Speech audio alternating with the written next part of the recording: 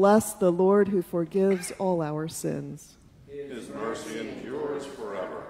Almighty God, to you all hearts are open, all desires known, and from you no secrets are hid. Cleanse the thoughts of our hearts by the inspiration of your Holy Spirit, that we may perfectly love you and worthily magnify your holy name through Christ our Lord. The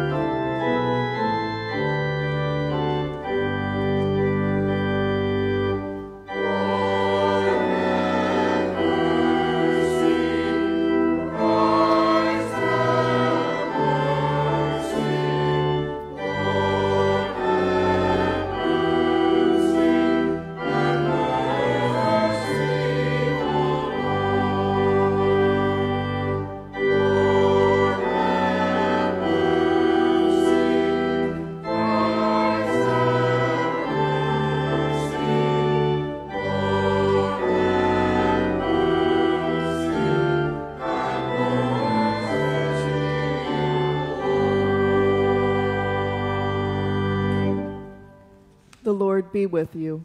And also with you. Let us pray. Almighty God, whose blessed Son was led by the Spirit to be tempted by Satan, come quickly to help us who are assaulted by many temptations.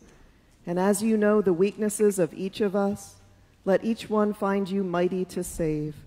Through Jesus Christ, your Son, our Lord, who lives and reigns with you and the Holy Spirit, one God, now and forever. Amen. Please be seated for the readings. A reading from the book of Deuteronomy. When you have come into the land that the Lord your God is giving you as an inheritance to possess, and you possess it and settle in it, you shall take some of the first of all the fruit of the ground, which you harvest from the land that the Lord your God is giving you, and you shall put it in a basket, and go to the place that the Lord your God will choose as a dwelling for his name. You shall go to the priest who is in office at that time, and say to him, Today I declare to the Lord your God that I have come into the land that the Lord swore to our ancestors to give us. When the priest takes the basket from your hand and sets it down before the altar of the Lord your God, you shall make this response before the Lord your God. A wandering Aramaean was my ancestor. He went down into Egypt and lived there as an alien, few in number, and there he became a great nation, mighty and populous. When the Egyptians treated us harshly and afflicted us by imposing hard labor on us, we cried to the Lord, the God of our ancestors. The Lord heard our voice and saw our affliction, our toil, and our oppression. The Lord brought us out of Egypt with a mighty hand and an outstretched arm, with a terrifying display of tower, power, and with signs and wonders. And he brought us into this place and gave us this land, a land flowing with milk and honey. So now I bring the first of the fruit of the ground that you, O Lord, have given me. You shall set it down before the Lord your God and bow down before the Lord your God. Then you, together with the Levites and the aliens who reside among you, shall, shall celebrate with all the bounty that the Lord your God has given to you and to your house. This is the word of the Lord. Thanks be to God.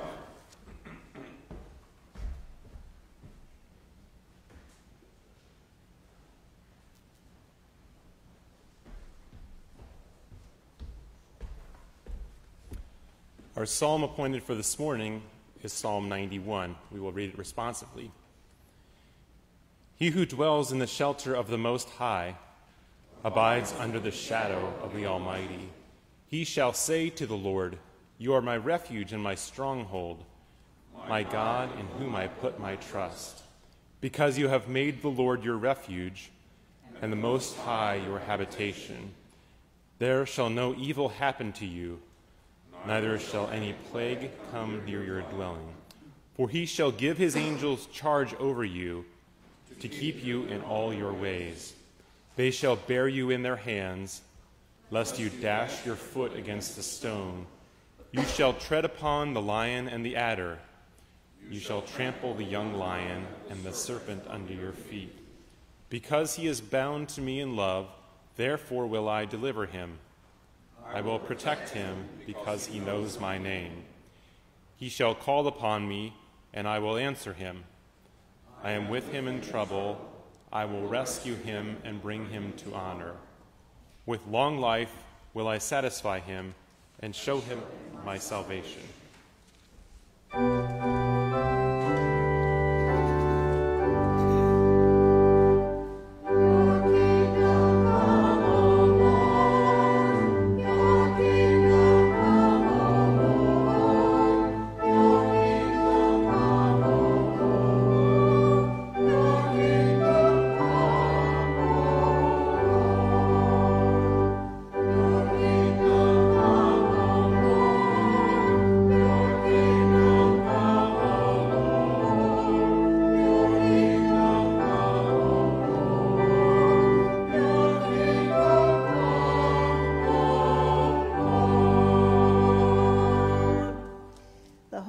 Gospel of our Lord Jesus Christ according to Luke.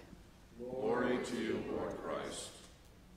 After his baptism, Jesus, full of the Holy Spirit, returned from the Jordan and was led by the Spirit in the wilderness, where for forty days he was tempted by the devil.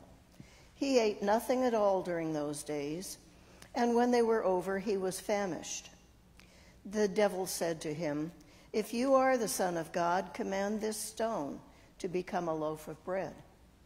Jesus answered him, It is written, One does not live by bread alone.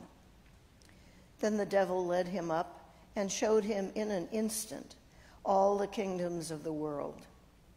And the devil said to him, To you I will give their glory and all this authority. For it has been given over to me, and I give it to anyone I please. If you then will worship me, all will be yours. Jesus answered him, It is written, Worship the Lord your God and serve only him. Then the devil took him to Jerusalem and placed him on the pinnacle of the temple, saying to him, if you are the Son of God, throw yourself down from here, for it is written, He will command His angels concerning you to protect you. On their hands they will bear you up, so that you will not dash your foot against a stone. Jesus answered him, It is said, Do not put the Lord your God to the test. When the devil had finished every test, he departed from him until an opportune time. The word of the Lord. Praise to you, Lord Christ. May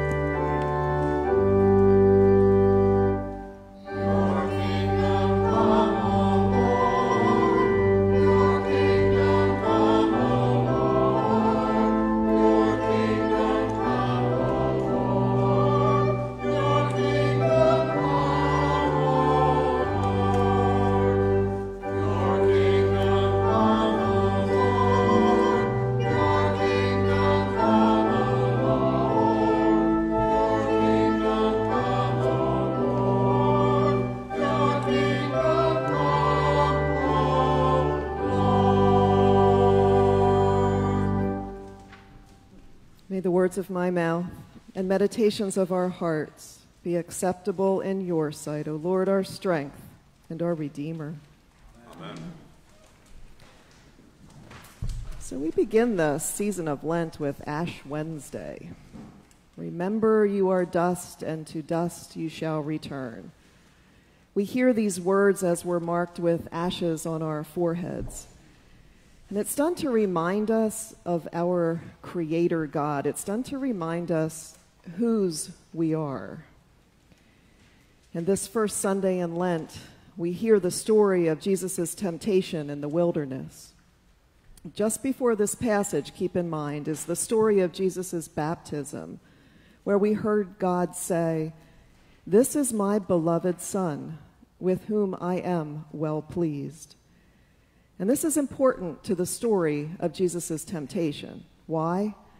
Because at its heart, it's a story about identity. And that is crucial to how Jesus and how we, for that matter, navigate temptation, and therefore how we navigate our lives.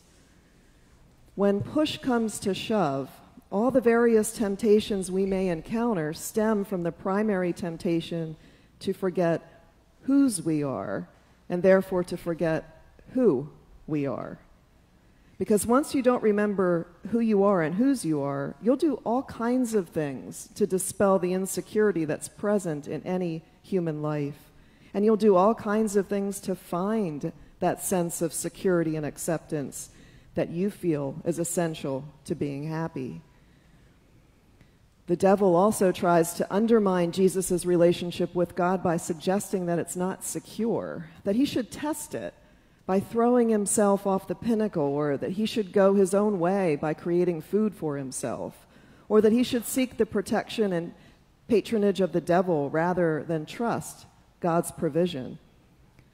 The devil is presenting Jesus with worldly power, which is in reality a fleeting power. At each point, Jesus resists, not simply by quoting scripture in general, but by quoting scripture that reminds him of God's trustworthiness, the need to depend on God for all good things, and consequently, of God's promise to care for all of God's children.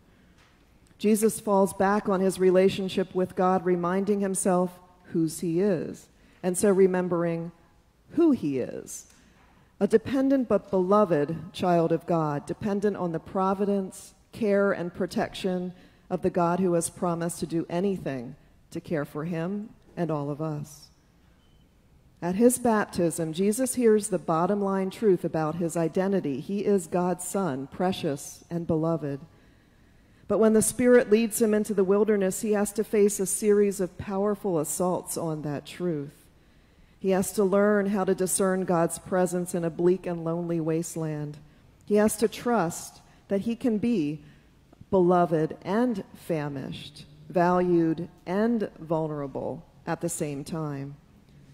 He has to learn that God's care resides within his flesh and blood humanity, within a fragile vessel that can crack and shatter. Now, there's ancient wisdom found in having seasons of the church. Lent is the season set aside as a period of self examination, and it's based on this story of Jesus' retreat to the wilderness, the desert. With the waters of baptism still clinging to him, Jesus enters the wilderness, where for 40 days and 40 nights he fasts and prays. Son of God he may be, but here at the outset of his ministry, he needs this liminal space, this in between space to deepen his clarity and prepare him for what lies ahead. In this harsh landscape, Jesus comes to a vivid knowing about who he is and what's essential to his ministry. You know, we are all essentially artists involved in the construction of our own world. So, how do we draw our world? How do we construct our landscape? That's the question that the desert gives us. What are we doing here? Not just what are you doing here in this physical space, but also what are you doing here in life? How do you feed your soul? What do you feed your soul in order to construct your life? Sometimes it takes going into the wilderness, the landscape of body or of soul, to find the answer to these questions stepping over the threshold into a different space and time, traveling where the familiar contours of our life disappear, leaving the landmarks behind, the people and patterns and possessions that orient us. That's where Jesus goes. You know, sometimes music can take us to that liminal space, that in between space. John O'Donohue and Krista Tippett were once talking about the music of Ireland Donohue shares one of the things I'm always amazed about Irish music, for instance, is how, in some way, the lines of the landscape find their way into the music. The memory of the landscape, almost. The memory of the people, too. And that, in some sense, despite the sorrow that we've endured. I mean, Ireland has hundreds of years of an awful history of suffering, and you hear that in the music. You hear that even in the fast music, the light gay music, the celebratory music. You hear the undertones of the quiet spaces where the echo of this hauntedness comes through. And yet, it's inextricably linked with exuberance and vitality. And I know friends of mine who play, and when they play, they're unreachable. You can't find them. They're serving the music, they're just in another place. So, what are you doing here? At the outset of the Lenten journey, why are you where you are? What do you need from the 40 day place that this season offers? Is there a wilderness you need to enter with your body or with your soul or with both in order to gain clarity at this point in your life? And what might that look like? To quote Debie Thomas, we are the children of a God who accompanies us in our suffering, not a God who guarantees us a life of immunity. Why is this good news? It's good news because we are also the children of a God who resurrects. There is no suffering we will ever endure that God will not redeem. The story of humanity is not a story that ends in despair. It's a story that culminates at an empty tomb in a kingdom of hope, healing, consolation, and joy. What does this mean for us as we begin our Lenten journeys this year? Maybe it means it's time to follow Jesus into the desert. It's time to stay and look evil in the face. Time to hear evil's voice, recognize its allure, and confess its appeal. It's time to decide who we are and whose we are. Remember, Lent is not a time to do penance for being human. It's a time to embrace all that it means to be human human and hungry, human and vulnerable, but also human and beloved. So, as you travel into this Lenten landscape, may you find what you most need. May you receive the gift you never expected. May you find strength in those who have journeyed there before you, and may angels attend your way. Blessings. Amen.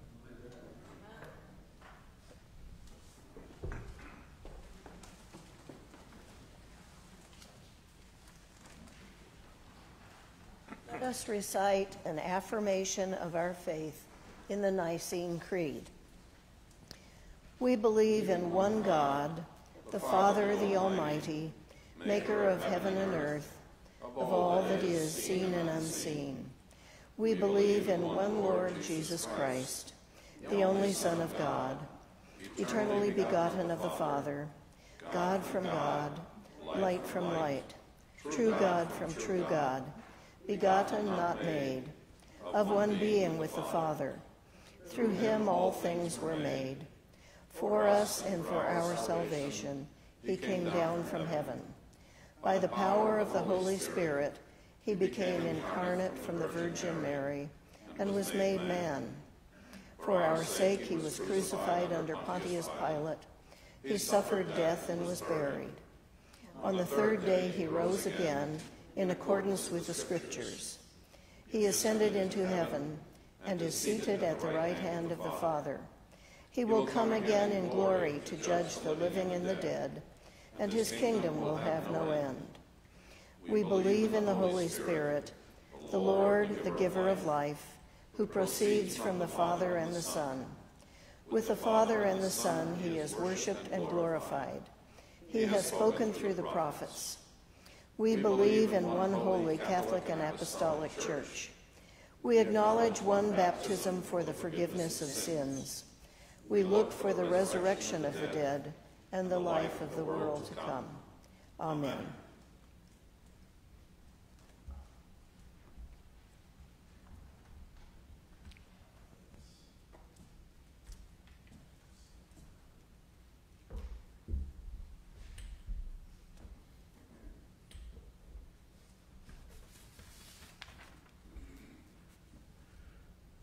You're invited to join me in the prayers of the people. In this holy season, let us turn to God in prayer, saying, Lord, hear our prayer. For the catechumens and for all holy people of God, that we may be led by Spirit to hunger for the word of life, let us pray to the Lord. Lord, hear our prayer.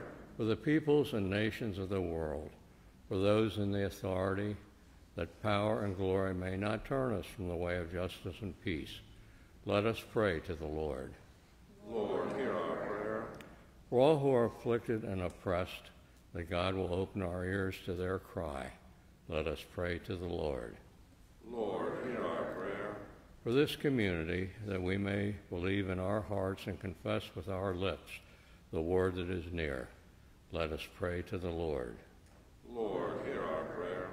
For our own needs and those of others, especially those affected by the coronavirus, and those listed here that are near to our hearts, and with those we now name silently or out loud.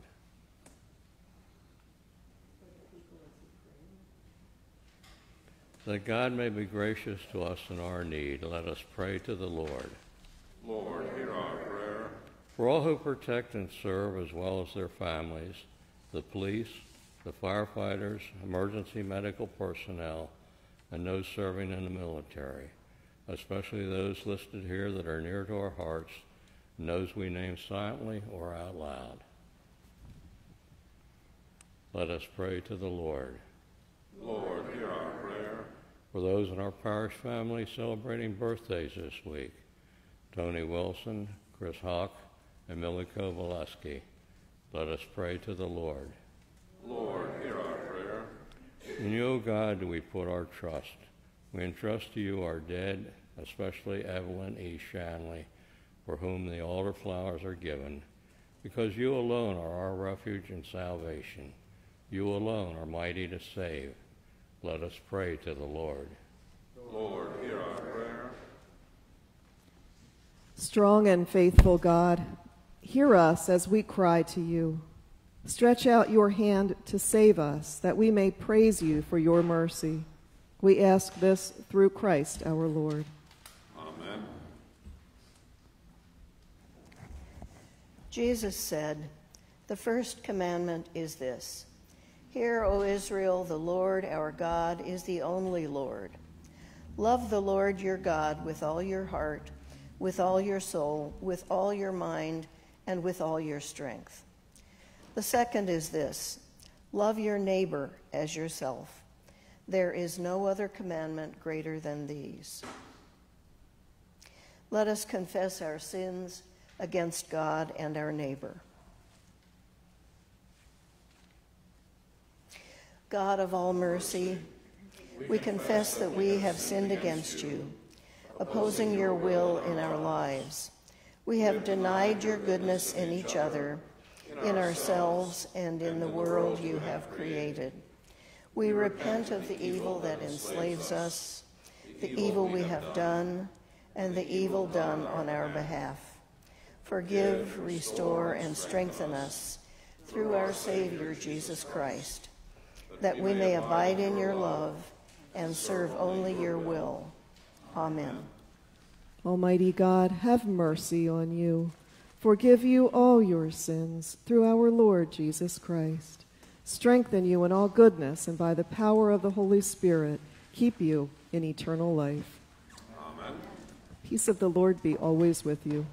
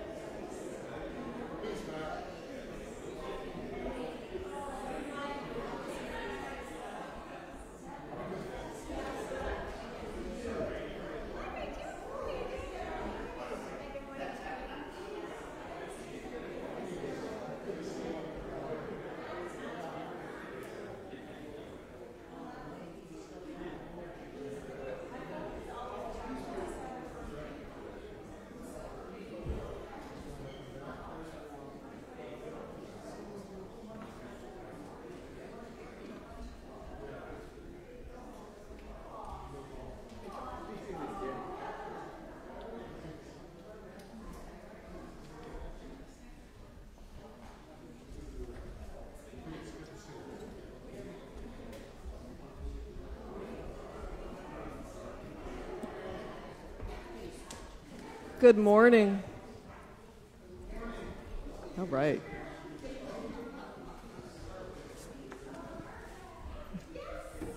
What was it?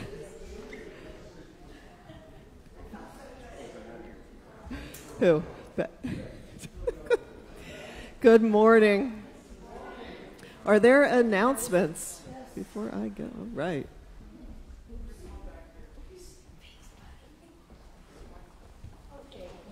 Tucked into your bulletin, I'm sure you found the extra page about a Lenten discipline for this week, praying for the people of Ukraine and the soldiers of both sides. Um, you can find the charities you might want to contribute to the easy way. You don't have to type in that, that URL. You can go to the bulletin online and simply click. As we were saying, who was I saying this to? Click, click, peace. There you go. Thank you. Yeah. Oh.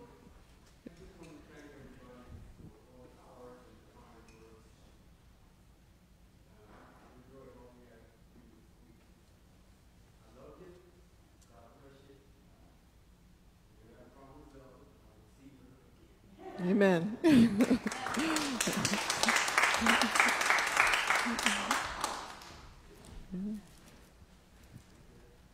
Other, Betty, do you have an announcement? Yes.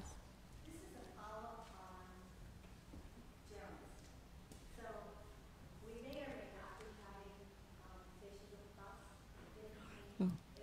Yeah, you know what? Can I give you a microphone or do you want to go up to so they can hear you on the live stream?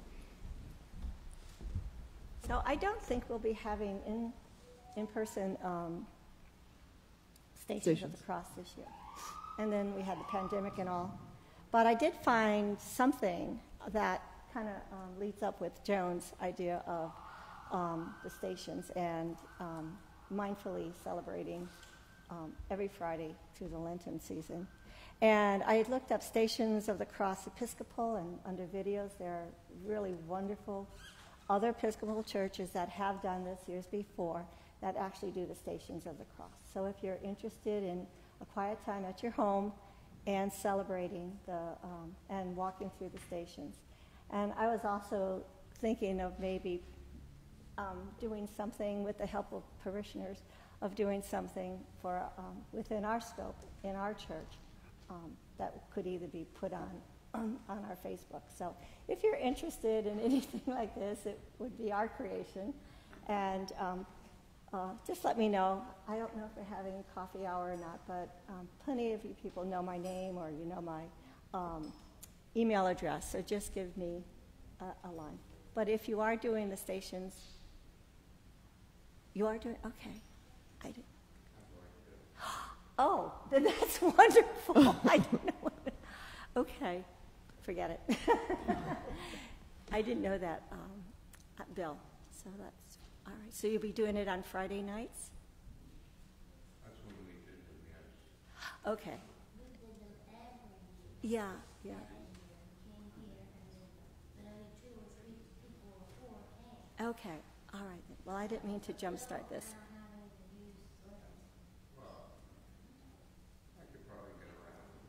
Okay, all right, that's right. Well, then we will have in service. So that's, e- that's even better, believe me. Okay, well, thank you. Thank you. Are there other announcements? Okay. So today is the first Sunday of the month. We have our um, our contemporary music family service at 11:15 today, and uh, I am out of the office beginning tomorrow through next Monday. I'm taking a bit of a respite week. Uh, I need to, uh, I guess, as a Lenten journey, I need to recharge, refuel. So I'm taking off this week, um, which means I will not be here next Sunday. So we'll have a morning prayer Sunday, which the, our bishop actually suggested um, as something to do for all clergy in our diocese to take a respite week. So next Sunday is morning prayer Sunday, 9:30, same time. Uh, Chris Hawk will be leading us in morning prayer. Yeah. Um, and there will be no Thursday healing service this week. Our annual meeting is scheduled for Sunday, March 20th at 11 a.m. Uh, in person in our social hall. We'll also do our best to try to set up a Zoom. I can't promise that will work well, but we will give that a try if you're not comfortable going to the in person meeting. And also, there are nomination forms back where you pick up your bulletin. There are four vestry positions that are um, that need to be filled. I believe every vestry person is running again. They're certainly eligible to run again.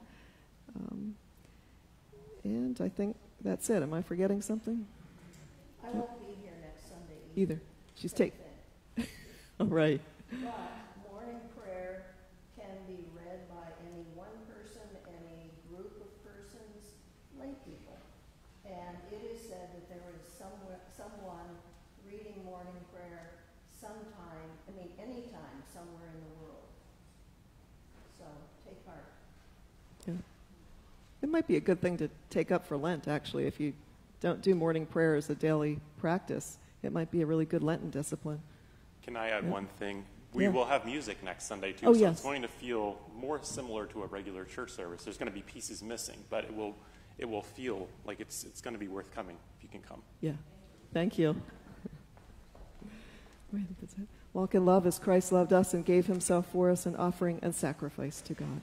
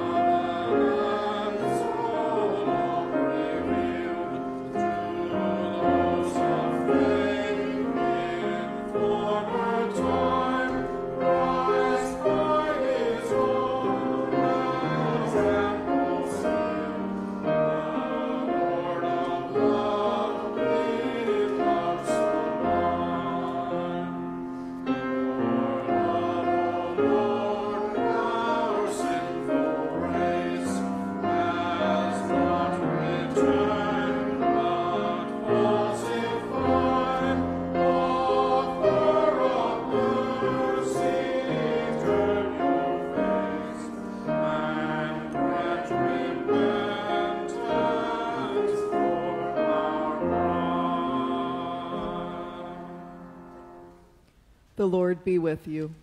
And also with you, Lift up your hearts. we lift them to the Lord. Let us give thanks to the Lord our God.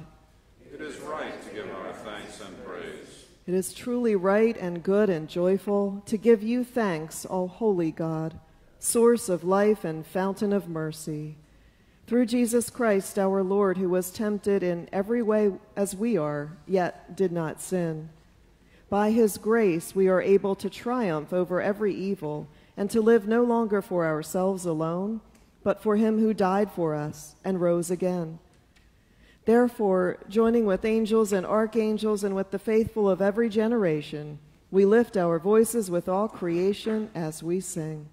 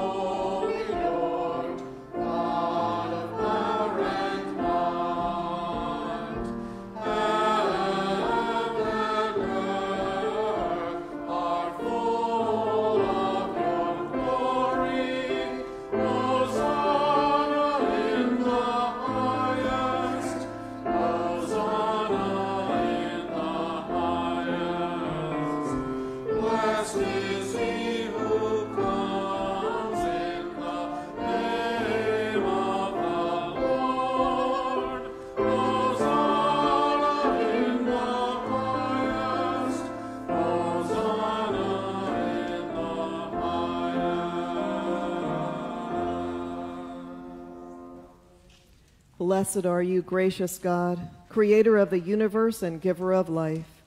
You formed us in your own image and called us to dwell in your infinite love. You gave the world into our care that we might be your faithful stewards and show forth your bountiful grace. But we failed to honor your image in one another and in ourselves. We would not see your goodness in the world around us, and so we violated your creation, abused one another, and rejected your love. Yet you never ceased to care for us and prepared the way of salvation for all people. Through Abraham and Sarah, you called us into covenant with you. You delivered us from slavery, sustained us in the wilderness, and raised up prophets to renew your promise of salvation. Then, in the fullness of time, you sent your eternal word, made mortal flesh in Jesus. Born into the human family and dwelling among us, he revealed your glory. Giving himself freely to death on the cross, he triumphed over evil opening the way of freedom and life. And on the night before he died for us, our Savior Jesus Christ took bread. And when he had given thanks to you, he broke it, gave it to his friends, and said, Take, eat. This is my body, which is given for you. Do this for the remembrance of me. As supper was ending, Jesus took the cup of wine. And when he had given thanks, he gave it to them and said, Drink this, all of you. This is my blood of the new covenant, which is poured out for you and for all for the forgiveness of sins. Whenever you drink it, do this for the remembrance of me. Therefore, we proclaim the mystery of faith. Christ has died, Christ is risen, Christ will come again. Remembering his death and resurrection, we now present to you from your creation this bread and this wine.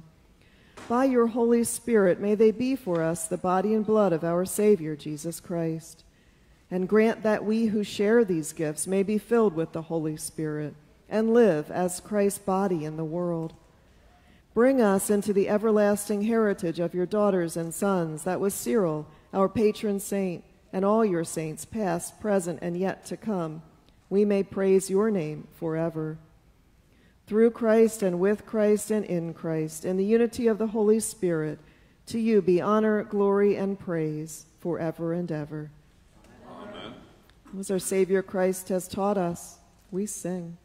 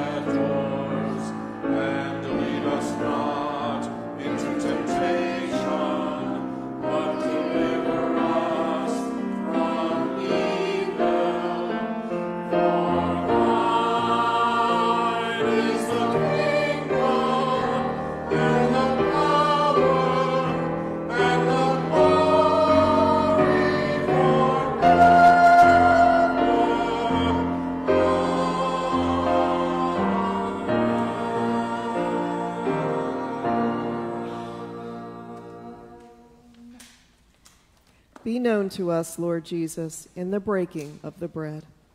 Known to us, Lord Jesus, in the breaking of the bread. The gifts of God for the people of God.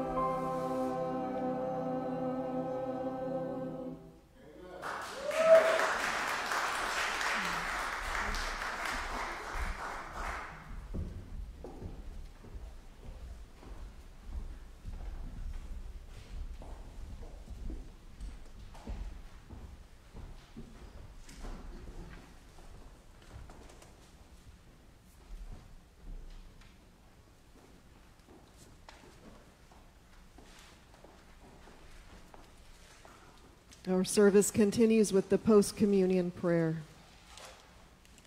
Let us pray. Loving God, we give you thanks for restoring us in your image and nourishing us with spiritual food in the sacrament of Christ's body and blood. Now send us forth a people, forgiven, healed, renewed, that we may proclaim your love to the world and continue in the risen life of Christ our Savior. Amen. Live without fear. Your Creator has made you holy, has always protected you, and loves you as a mother. Go in peace to follow the good road, and may God's blessing be with you always.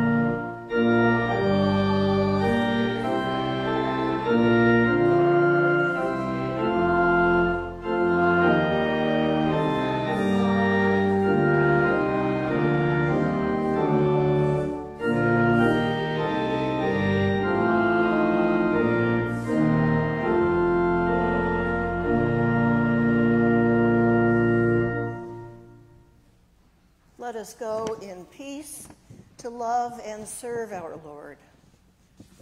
Thanks be to God.